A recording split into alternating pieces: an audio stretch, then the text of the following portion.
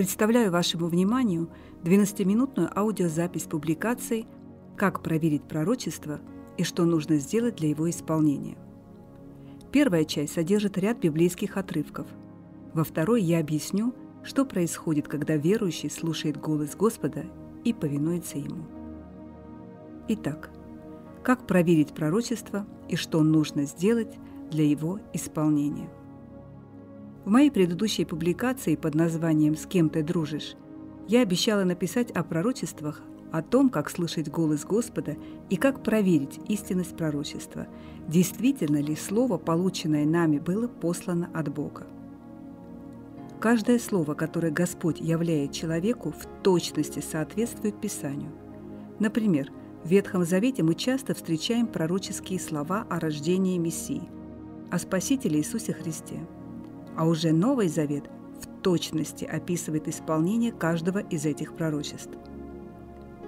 Рассмотрим несколько примеров соответственно из Ветхого и Нового Заветов. «Итак, сам Господь даст вам знамение. Сей дева в чреве примет и родит сына, и нарекут имя ему – Эммануил». Пророчество Исаии, 7 глава, 14 стих. Это Ветхий Завет. Но когда он помыслил это, все ангел Господень явился ему во сне и сказал, «Иосиф, сын Давидов, не бойся принять Марию, жену твою, ибо родившаяся в ней есть от Духа Святого. Родит же сына, и наречешь имя ему Иисус, ибо он спасет людей своих от грехов их.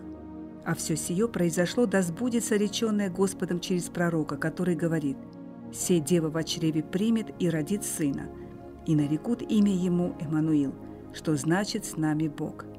Евангелие от Матфея, 1 глава, стихи 20-23. Это Новый Завет. Приведу еще пару примеров. «И ты, Вифлеем, Ефрафа, мал ли ты между тысячами иудинами – из тебя произойдет мне тот, который должен быть владыкою в Израиле». Пророчество Михея, 5 глава, 2 стих, Ветхий Завет. И Ирод, собрав всех первосвященников и книжников народных, спрашивал у них, «Где должно родиться Христу?» Они же сказали ему, «В Вифлееме Иудейском». Евангелие от Матфея, 2 глава, стихи 4-5, Новый Завет. В те дни вышло от кесаря Августа повеление сделать перепись по всей земле. Эта перепись была первая в правлении Кавериния Сирии. И пошли все записываться, каждый в свой город. Пошел также Иосиф из Галилеи, из города Назарета, в Иудею, в город Давидова, называемый Вифлеем, потому что он был из дома и рода Давидова, записаться с Марией, обрученной ему женой, которая была беременна. Евангелие от Луки, 2 глава, стихи с 1 по 5. Это Новый Завет. «Из Египта вызвал сына моего». Пророчество Оси, 11 глава, 1 стих. Ветхий Завет. Когда же они отошли, все ангел Господень является во сне Иосифу и говорит «Встань, возьми младенца и матерь его и беги в Египет». И там был до смерти Ирода, да сбудется реченное Господом через пророка, который говорит – «Из Египта возвал я сына моего». Евангелие от Матфея, 2 глава, стихи 13-15. Новый Завет. Когда для исполнения пророчества установлен длительный период времени, Господь являет и ход его событий. Так, например, в вышеприведенных примерах, как в Ветхом, так и в Новом Заветах, провозглашается, что Спаситель назовут Иммануил, что он родится в Вифлееме, но Отец воззовет его из Египта. Это очень важное условие – Бывают случаи, когда пророческое слово произносится во имя Господа, однако оно так и не исполняется. Тем временем и пророчествующие, и, возможно, люди, принявшие данное пророчество, с надеждой ожидают его исполнения в ближайшем будущем.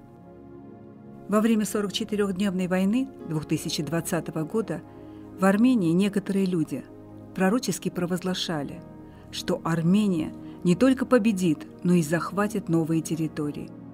Увы, неоспоримый факт заключается в том, что война закончилась горьким поражением, с огромными человеческими и территориальными потерями.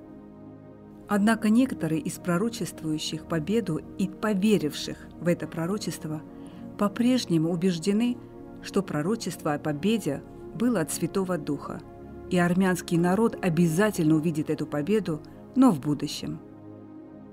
Эти провозглашения не могут быть от Господа, поскольку Бог бы точно иначе сформировал бы свое слово. Он обязательно указал бы весь ход событий и подчеркнул, что вначале будет великое поражение, но в дальнейшем придет победа, четко указывая последовательность времени. В приведенных выше местах Писания мы можем увидеть характер нашего Господа.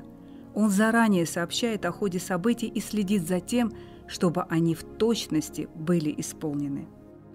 «Да сбудется реченное Господом через пророка». Так говорит Божие Слово в Евангелии от Матфея, 2 глава, 15 стих. Что касается победы в войне и возвращения утраченных территорий Армении, я глубоко убеждена, что это станет возможно только тогда, когда наш народ смирится перед Богом и после глубокого покаяния пойдет по путям, угодным Господу. И эта победа наверняка уже не будет достигнут ценой крови и новых жертв. Человек, получивший пророчество, играет важную роль в его исполнении. В Самарии была засуха и голод в течение трех лет. Господь повелел своему пророку Илии пойти к Ахаву.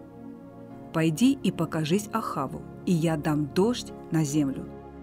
Третье царство, 18 глава, 1 стих.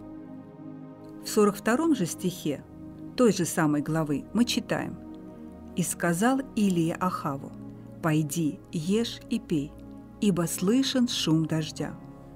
После того, как Илия передал слово от Господа Ахаву, он не бездействовал, а поднялся на гору Кормил для молитвы.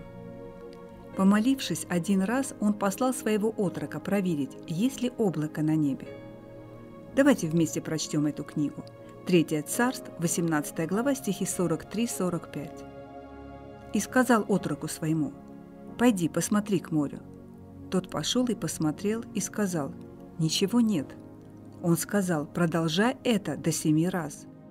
В седьмой раз тот сказал, «Вот небольшое облако поднимается от моря, величиною в ладонь, в ладонь человеческую». Он сказал, «Пойди, скажи Ахаву, запрягай колесницу твою и поезжай, чтобы не застал тебя дождь. Господь всегда исполняет свое слово, но очень важно понимать, что у верующего также есть своя доля ответственности, и он должен исполнить то, что желает Господь. И здесь ключевую роль играет общение человека с Господом. Но для этого верующему необходимо знать голос Святого Духа и исполнять все в соответствии с его желаниями. Например, если бы Илия стал ждать дождя после того, как помолился всего лишь один раз, ничего бы не произошло. Но Илия, вознося молитву к Богу, понимал, что он должен был делать, и все его действия были целенаправленными.